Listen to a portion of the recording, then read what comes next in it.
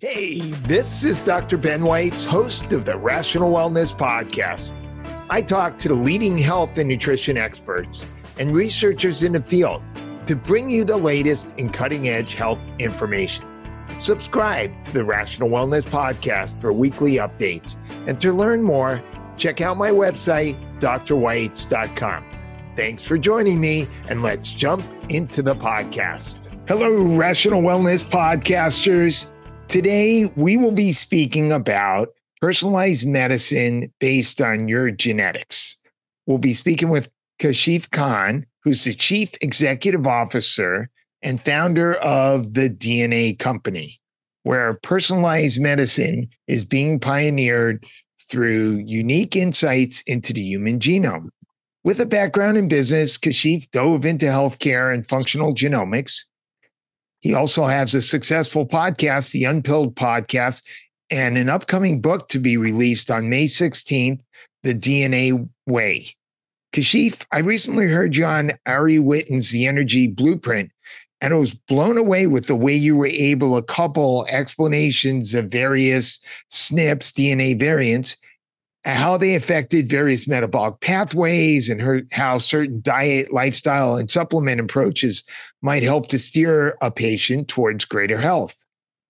Prior to this, I've spoken to other um, experts on genetics, and often we get simplistic explanations like uh, you have the C 677T or the A1298C variant of the MTHFR gene, and therefore yeah. you need to take methylated folate and B12, and that's pretty much the end of the story. Yeah. You know, something as complex and powerful as a human genome has been brought down to like, here's a supplement you need because of one gene, and that's all we're going to talk about. um, and I'm not saying that that's not useful information but the clinicians that are using these tools um, haven't so the tools are too difficult to use. Let's start there. So when it's too difficult to use there's one or two tricks up your sleeve that you kind of stick to and that's it because how much time do we have to re-educate ourselves? And so there is so much more and that was part of our mission is making it easy to use so it's easy, easy for people like yourself to implement and it, there's so much more we can do than just here's your folate right? Right um, and I just want to let you know that we have a fair number of healthcare practitioners and also educated consumers. So, in our discussion, feel free to deep in, uh, dive deep into the science if it's appropriate. Sure. Well, let's use that as an example. You're talking about a methylation gene. And just this morning, I was speaking to this influencer from the UK that calls herself the MTHFR guru or something. I said that in itself tells me you're not a guru because you don't understand methylation. That that's one gene in a cascade that builds up a system. So if you have, you have to first understand human biology. This is where genetics is broken. A gene is not independent of the process happening in the body. You can't look at it. It's like looking at one link in a chain and then making a judgment on the whole chain and they're all different sizes and different qualities. And so methylation is a cascade of a multitude of genes six or seven of them. So if i tell you your mthfr is off you're not doing so well there you still don't know where to intervene because it starts at you know b12 metabolic pathway b9 is it folate or is it folinic acid? Right? And what do you actually need? And if you know what part of the chain isn't working mthfr means the cascade in itself is inefficient but how and where do you intervene? So we can be a lot more precise uh, and we can give someone exactly what they want. And then it's no longer this has an 80% chance of working. It's no 100% of the time we're going to get it right. And that's an example of the difference between functional genomics and genetics. Exactly. Genetics is here's what this gene does, and we're going to speak about it independently. Uh, functional genomics is here's how the body actually works, and let's mirror let's look at that first. And not only let's look at the system but let's look at how several systems interlink. And we'll use methylation as another example. Methylation is phase two of detox. If i only focus on that and don't understand phase one first methylation is like here's the door open to take the garbage out. If i don't understand who's picking up the garbage and bringing it to the door i've only solved half the problem. Right, right?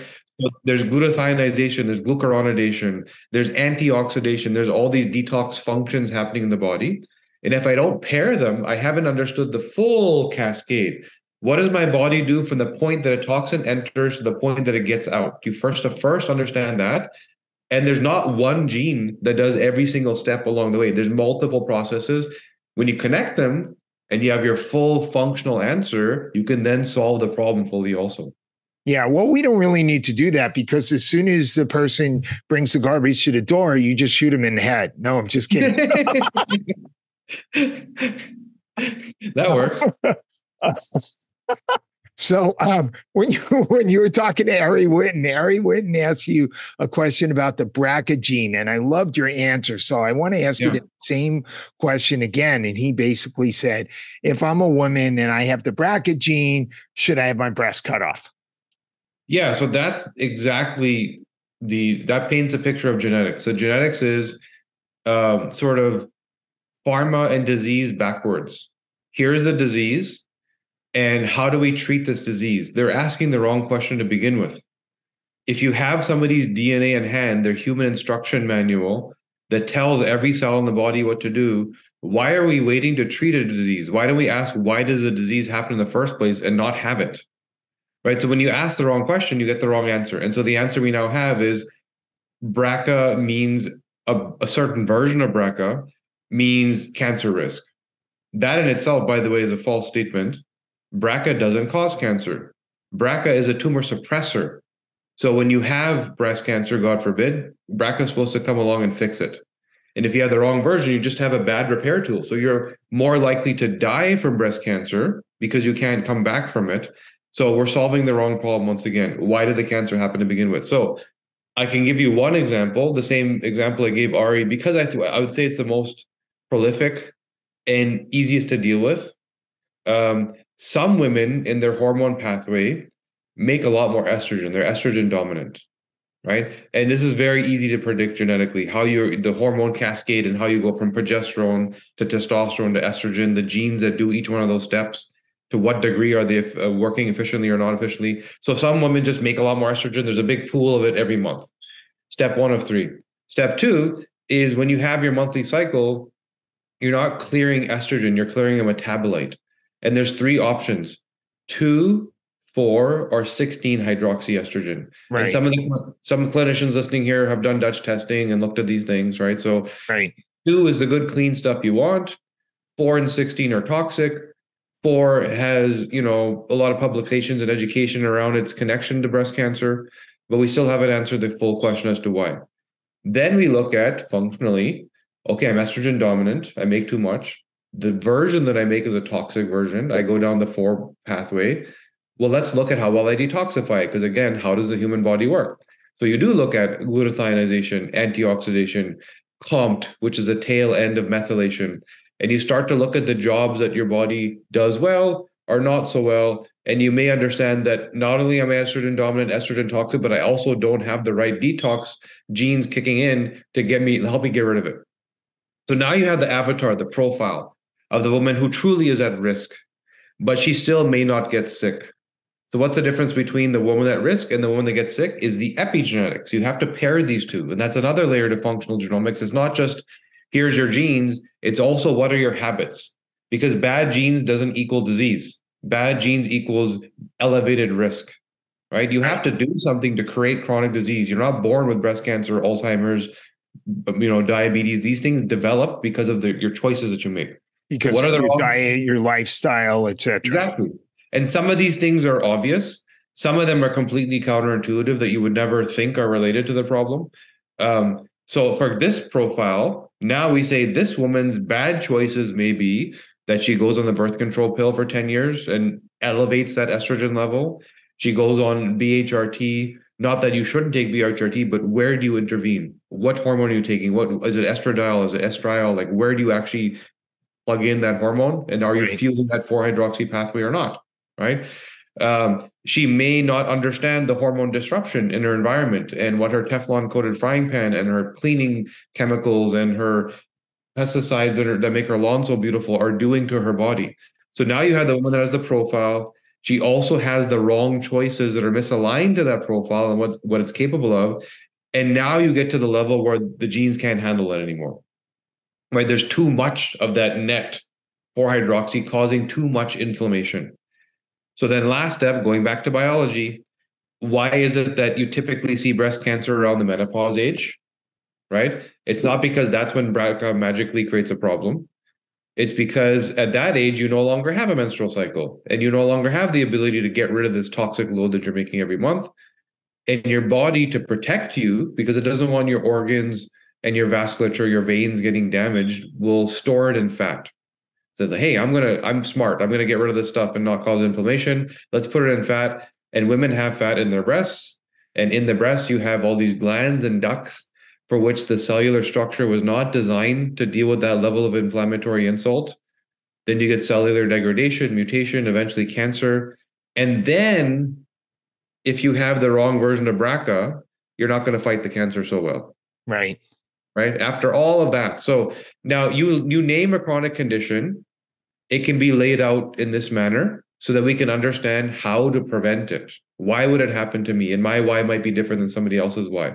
That's functional versus, you know, genetics. What are some of the important genetics related to cardiovascular disease? We know about uh, familial hypercholesterolemia.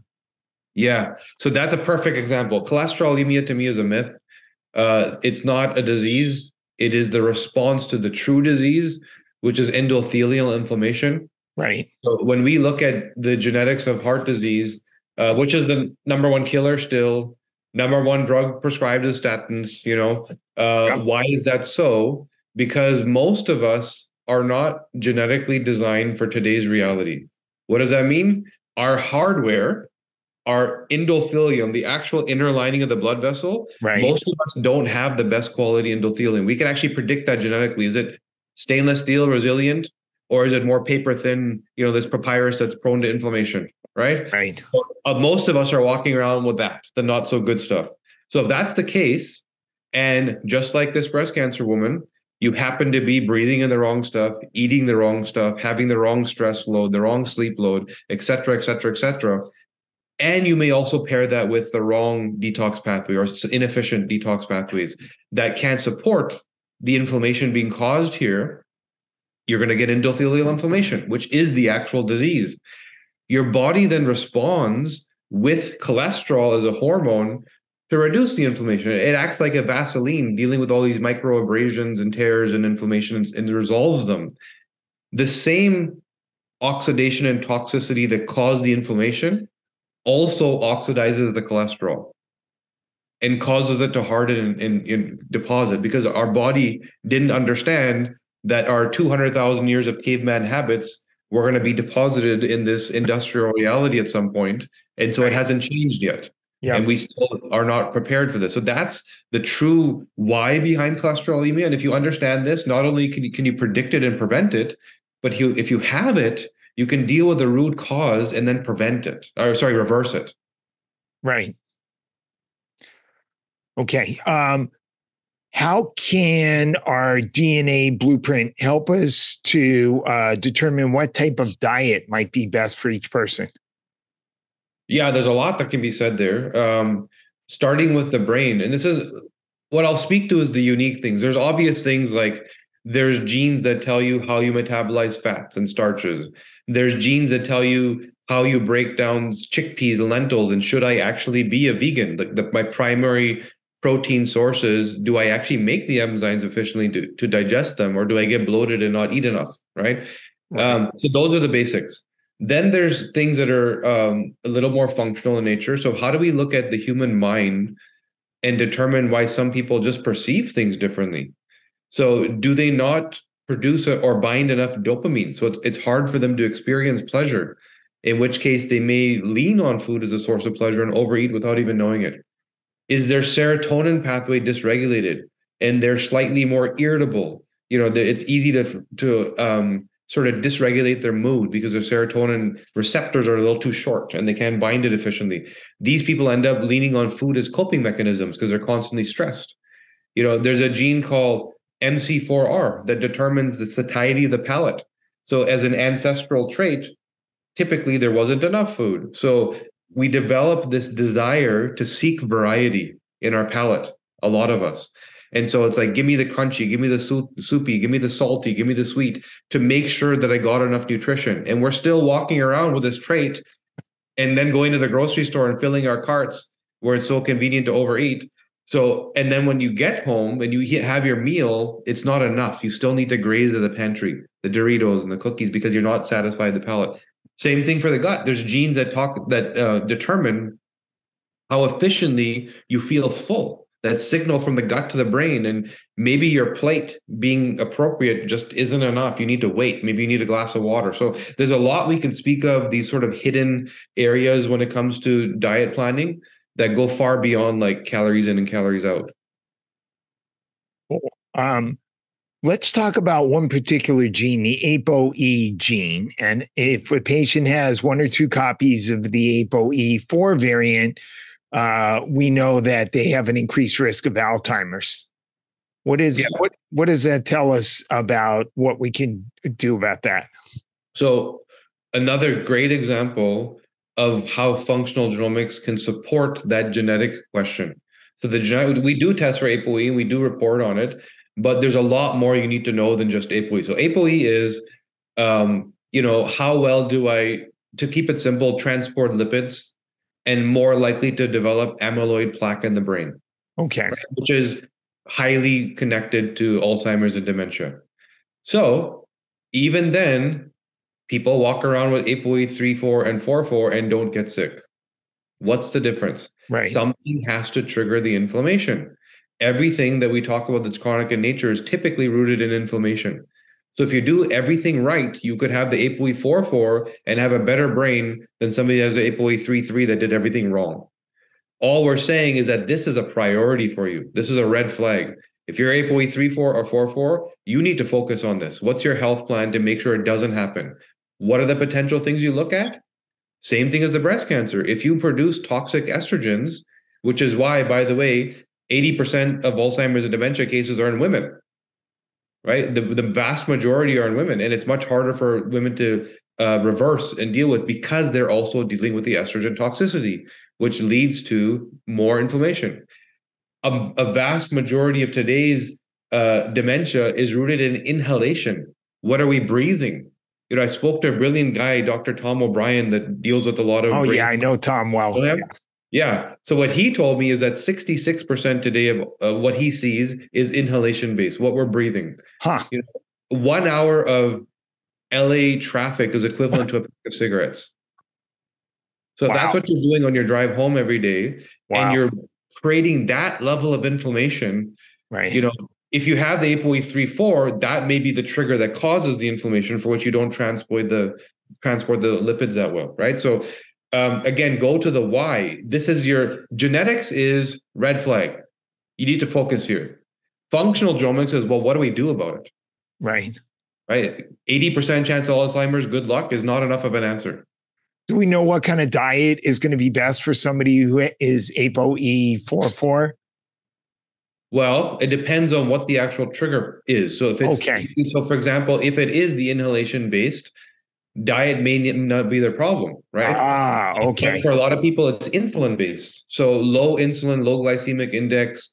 Um, there's some people that don't, you know, metabolize fat so efficiently. I that that's exactly the question I was going to ask because I know some people employing a keto diet to help reduce yeah. risk, and other people are employing a vegetarian, low saturated fat diet to reduce risk. And you're saying it depends on what other genes yes are involved. So we can. There's a lot of people we work with that got onto keto and they felt amazing in the first three or four weeks. It's impossible to not feel amazing because you start burning your fat as fuel and you get ketones firing in your brain. Everything feels good. But then you get five, six weeks into it and you start feeling sluggish and like, well, what else do I need to change? There's something else because you felt so good, you don't blame it on the keto. But if your ApoA2 gene, a different gene, is off, you don't metabolize saturated fat so well. And five, six weeks into it, you're going to feel horrible. And that can actually drive an insulin response, by the way. We don't think of fat driving an insulin response, but ultimately, if you eat too much fat, it turns into glucose anyway, right? And it can drive an insulin response. So, yeah, we can be hyper precise on the exact In- interesting. So fats can drive an insulin response. That, I've not heard that before. And the reason you haven't heard that, and I'm gonna poke fun at you for some time right now, That's is because fine. medical research. medical research is all done on Western European white males. Right? It's designed for you. It's not designed for my pigmented skin. it's also not designed for women. This is why dark people and women suffer more in our healthcare system than white European, Western, Western European white men. So the truth is that the genetics of South Asian people, brown people, we get an insulin response from fat. Interesting. It's not, it's not spoken of anywhere, right? Uh, and it's not just South Asians, there's other ethnicities as well. So we have a medical model, a global medical model that was designed on one cohort cohort of people, which great, you're gonna do well, right? you know, but the, the uniqueness, the bio-individuality is there. We're not all the same, and we're starting to understand that.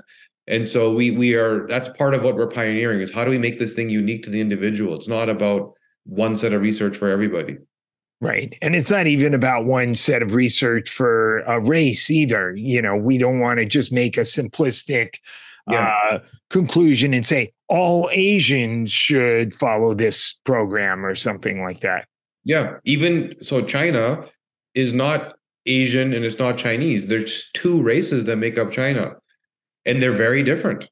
So if you look and you picture this, you you picture people from China either look like Bruce Lee, or they're big, like call it the panda bear, right? and that's what you get. There's nothing in the middle. And there's actually two major races that make up China. These highly androgenized, testosterone dominant, rippled muscle 90 year old grandma walking around doing her own groceries right? or these big thick people that have a lot of fat on them and big heads right those are the two races so even between those two races it's not the same answer right and we've learned this genetically that the uniqueness of how people are and why these people are highly estrogen dominant these people are highly androgen dominant Huh. right and eventually at some point they came together and formed china um, so you can't give the same answer to those two people, even though they both think they're Chinese.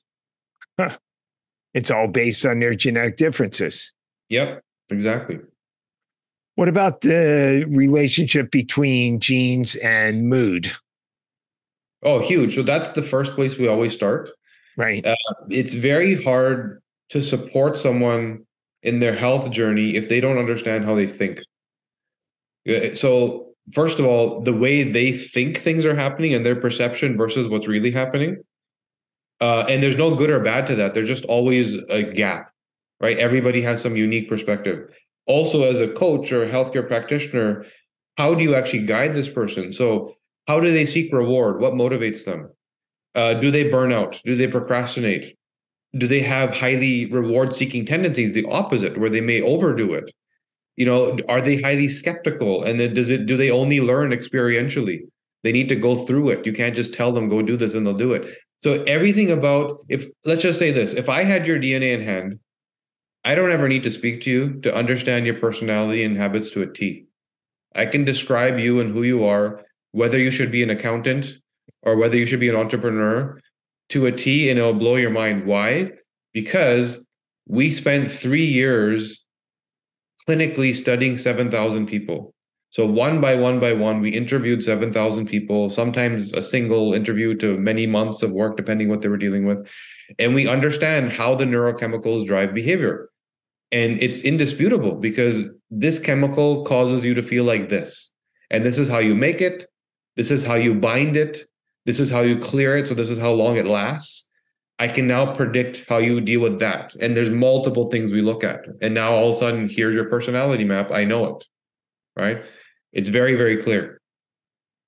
That's amazing. Um, uh, I I saw somewheres where you said the COMT gene plays a role in altruism.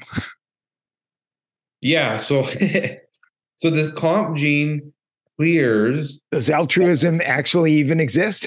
I have my undergraduate degree in philosophy. Well, here's here's what I believe about all mood and behavior and behavior traits.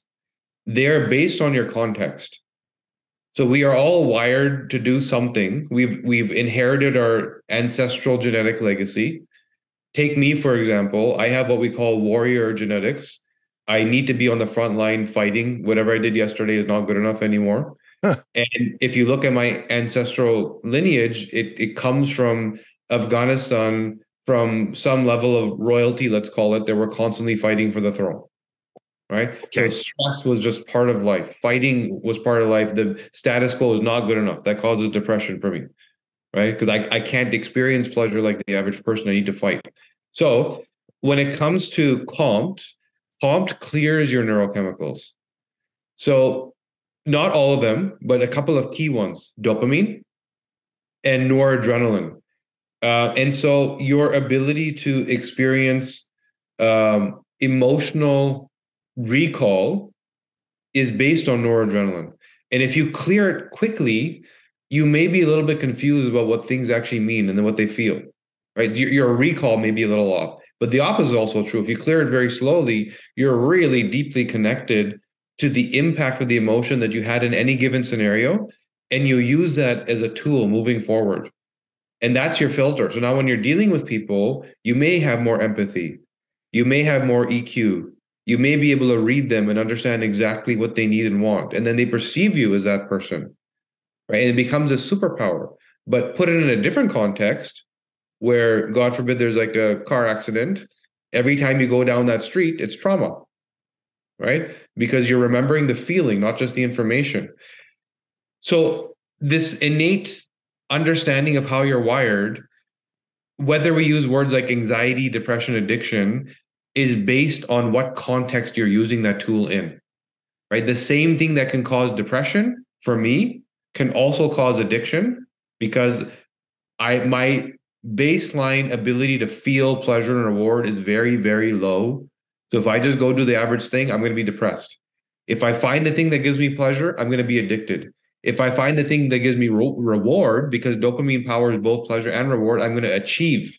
And guess what? I've experienced all three of these things right? So context is key. Understanding who you are first and what the ideal context is, and knowing what the more deleterious context is and what may cause you a problem, then you can choose how you feel.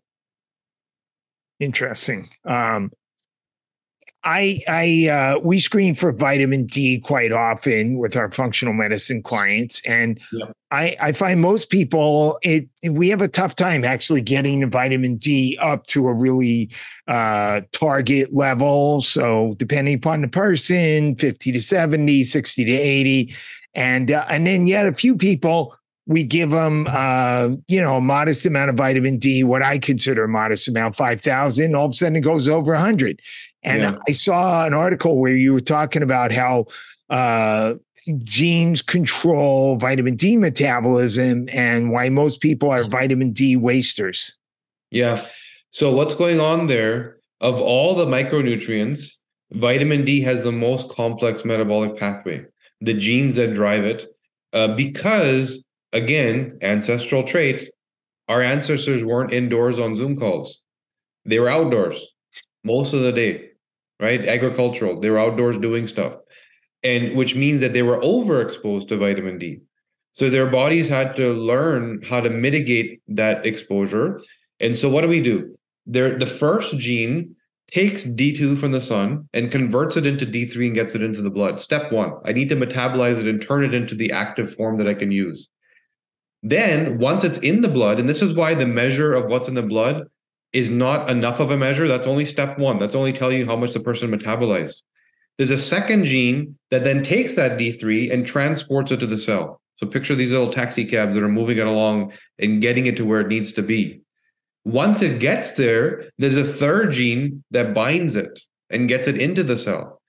And any one of these can be off. So you might have somebody that metabolizes vitamin D really well, but they don't transport and bind it really well. So that person needs multiple doses because if you give them 5,000 IU, they will only use 1,000 of it. They just can't efficiently get it there fast enough and bind it fast enough. The opposite could be true.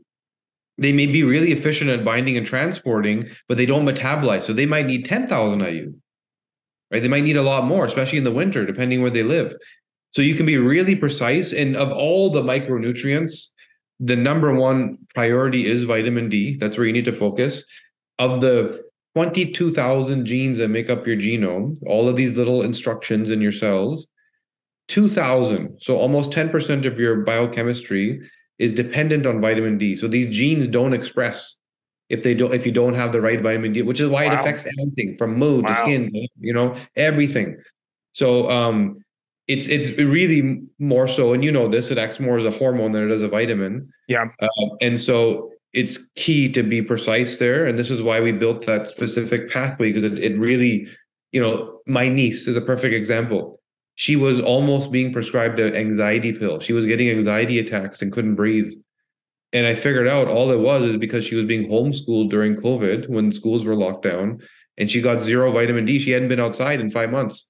Oh, and her wow. vitamin D pathway is horrible. And she just needed more vitamin D and a little bit of L-theanine to boost her dopamine levels. That was it. And she was being prescribed an anxiety pill, which she would have probably still been on today. Right. That's awesome. Um, couple more questions. Um, how does our how do our genes um, tell us about our ability to fall asleep? So there's sleep is that's one question. How do I fall asleep? Then there's also how do I stay asleep? Right. And there's also how do I sleep through the night and actually feel rested? How do I get quality sleep? How do I get good deep sleep? Yes. How do I get good REM sleep? And those are all different things genetically. So the first one is based on circadian rhythm. So how efficiently does my clock work? Right. So if my clock, there's two genes. There's literally a gene called clock, which makes the clock protein, which allows your body to understand what time it is. Uh, and then there's BDNF, brain derived neurotropic factor, which also heavily regulates circadian rhythm. And so if you're not doing well there, then your body is going to need a very strict routine to be able to fall asleep on time, which means waking up at the right time, getting sunlight and vitamin D at the right time, uh, pausing to breathe a few times during the day, some kind of light like sauna or stretching type activity in the evening, you know, no blue light, turning off the TV a couple hours before. So that's we can be very precise about your sleep problem and why you can't fall asleep. But that same problem doesn't affect why you can't stay asleep. That's a different problem, which is more based on serotonin and cortisol. Those are very different problems where if your serotonin is dysregulated, which means your brain is more sensitive to stimulus, it notices everything, and you make your serotonin in the second half of the night in your gut and your body uses serotonin to wake you up and it's it's literally waiting for sunlight to say okay time to get up let's bind that serotonin but if your brain can't prioritize stimulus because your serotonin pathway is off then it's responding to everything in that second half of night. When the temperature changes when there's a smell when the hubby pulls on the blanket and it t- touches your skin like every little stimulus in that second half of the night your brain confuses for the sunlight coming through the window and you get up go to sleep get up go to sleep get up so it's a different problem to solve. Right. Interesting. What are what are some of the strategies to combat some of those well for the second one so this is actually all of these things that we see as problems are actually our ancestral superpowers. So think about the the caveman who had to not be eaten by a wolf while he was sleeping. Right. Right. So the person who was able to have that hypersensitivity to stimulus would survive because they would hear that branch breaking far before the wolf arrived. Right. Right. So um, that trait is designed to wake you up, but our context is not aligned to the sleep cocoon we actually need, which means heavy weighted blanket so that your body feels safe. Like head to toe, the skin is signaled. There's this weight on me. It is sleep time right now.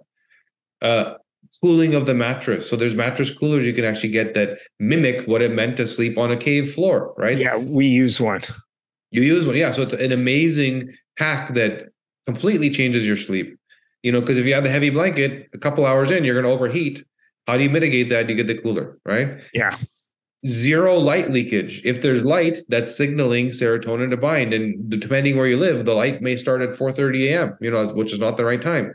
Right. So zero, zero light leakage, potentially an eye mask. Um, you potentially may have separate blanket from your spouse. Like you, you cannot have that stimulus, right? Um, so those are the things to consider. How do you make that sleep cocoon? And now, if we know that serotonin is the gene pathway is off, you can also modulate serotonin with the right supplement. So 5-HTT LPR is the gene. There's a supplement called 5-HTP, which helps regulate your serotonin level. So you can take one before going to sleep. You know, right. Uh, there's things you can do. Uh, these adaptogen type things that help you get into a deeper sleep state. You know, so there's there's a lot of things available. You just need to know again what your body needs. Like, where do I start? Right. Um, let's see. Um, I uh, what uh, one more question. What about our genetics and weight control? There's so much. We we need an hour just for that. and obviously, uh, obesity is such a big, big risk yeah. factor for chronic diseases, or maybe is a chronic disease itself. Yeah. So let me give you the fast bullets. Okay. Hormones. Hormones is one of the areas that is where people get stuck. So I'm going to the gym, I eat properly. Why can I not lose these last 20 pounds? Right? Hormones. Are you estrogen dominant? Are you androgen dominant? Where maybe you don't have enough fat or enough muscle, you can't get bigger. You can't put on the muscle, right? You're maybe not enough of the estrogens, right? So hormones is the first area, and it's very easy to use basic supplements to change these gene pathways and change your body, right?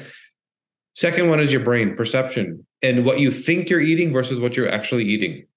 You know, your addictive tendencies, your binging tendencies, your emotional eating tendencies, and these things that never get counted in your calorie count. Right. So that's another big one.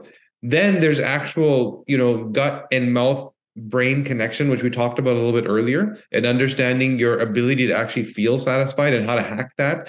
So right. if you are the person that has the palate need to for variety, you have to create it. Give yourself a little bit of uh, you know cheese, dark chocolate, nut, grape, like all the textures and varieties right when you're done your meal, so that you hack your brain to get the variety it's desiring. Right. Um, another big one that nobody looks at, or, or you just take Ozempic. Or you take Ozempic, yeah, that's another way around. And then you get off Ozempic and you got you balloon up like never before, right? so, yeah. We'll call and, that the Ozempic balloon. yeah. You know, and, and this is it's sad, but you know, the federal government went on 60 minutes and said, like a week before Ozempic was released, coincidentally, uh, that 80% of obesity is genetic.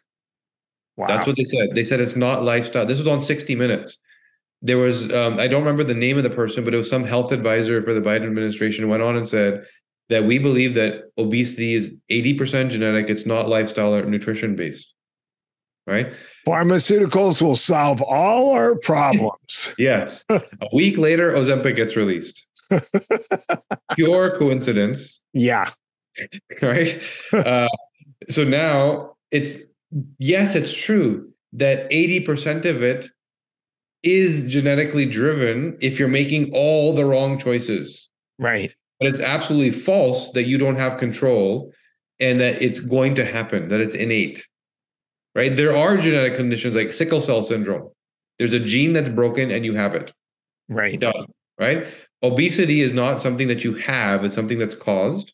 There are some people that have genetic obesity that's a tiny fraction of the people that are actually obese right? So we do so the other big one sorry i was going to say is environmental toxins. So we're so overburdened by environmental toxins what we breathe constantly that our body is storing fat as a place to deposit the toxins. So if somebody that goes for a run every day in manhattan that can't understand why they can't lose that little bit because you're running and breathing in pollution every day and you might not have the right detox pathways to deal with that. And so your body's trying to protect you by storing fat to deposit that toxin to keep it away from your organs. Interesting. And that may be your number one thing. That could just that could just be the one thing you have to work on. Right. Um Great. So, um, how can patients get your DNA test done? Uh, is there uh, an option for practitioners to become providers, or is this a direct to consumer, or is it, are both options available? Yeah, for sure, both. Um, so we do work with you know functional medicine uh, chiropractors, naturopaths, you know, everybody in that sort of wellness space that, Right. that thinks the way we think. Um, and a few MDs that have learned about life and what they need to change. uh, so we do work with practitioners. It's very easy. You open an account. We send you some kits. Uh, there's training if you want. There's free training. There's paid training depending how dive how deep you want to dive. Uh, and then for consumers, uh, it's the DNAcompany.com. Uh, you simply go there. The test is called the 360. Um, the way it works is you get shipped a kit, you spit in a tube, you ship it back to the lab. We extract your DNA. A few weeks later, you're going to get an email to access your reports, and the reports are very, very easy to use. Uh, rather than, hey, you have this gene, the MTHFR CC. Nobody knows what that means. Right. It's more like here's how your body deals with cholesterol and inflammation. Here's how you deal with anxiety. Let's speak in the context you actually can apply this stuff. Uh, and and there's recommendations built right in. So you know where do you actually supplement? What do you actually change in your diet, etc. Beyond that, there's some people that have you know the need for clinical support. You know, I have breast cancer. I'm how do I deal with this? So so we do have functional genomic certified coaches that can take on patients and help them through programs. Um, and we can also train practitioners to do the same. So all of the above. So it's the DNAcompany.com, the 360 test. Um, and to to work with us as a practitioner, you can also send us an email through there.